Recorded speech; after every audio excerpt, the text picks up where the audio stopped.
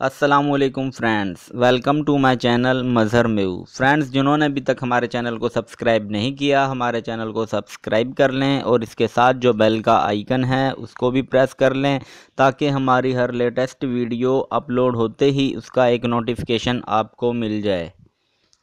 کیونکہ فرینڈز، ہم daily sports سے ریلیٹڈ ویڈیو اپلوڈ کرتے ہیں۔ فرینڈز، آج کی ویڈیو میں ہم آپ کو بتائیں گے کہ کراچی کنگ کے آل راؤنڈر شاہد آفریدی۔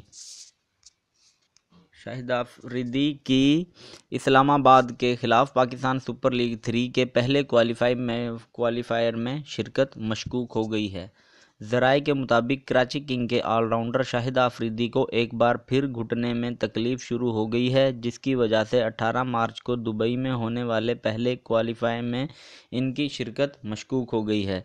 ذرائع کے مطابق گھٹنے کی تکلیف کی وجہ سے Shahid Afridi P S L three کے ابتدائی چند میچز میں بھی کراچی کنگز کی نمائندگی نہیں کر سکے تھے۔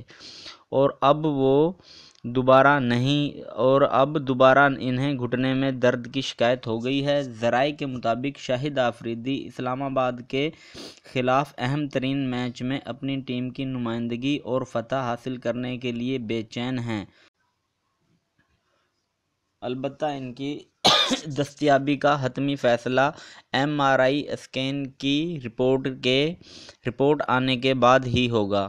خیال رہے کہ اٹھارہ مارچ کو ہونے والے کوالیفائر کی فاتحہ ٹیم براہ راست فائنل میں جگہ بنا لے گی، جبکہ شکست کھانے والی ٹیم کو فائنل تک رسائی کا ایک اور موقع ملے گا۔ پی ایس ایل تھری کا فائنل پچیس مارچ کو کراچی کے نیشنل اسٹیڈیم میں ہوگا۔ اگر آپ کو ہماری یہ ویڈیو پسند آئی ہے تو اس کو لائک کریں، شیئر کریں اور اگر آپ کو سپورٹ سے ریلیٹڈ ڈیلی اپڈیٹ چاہیے تو ہمارے چینل کو سبسکرائب کریں اور اس کے ساتھ جو بیل کا آئیکن ہے اس کو بھی فالو کریں۔ تھینکس فار واچنگ اللہ حافظ۔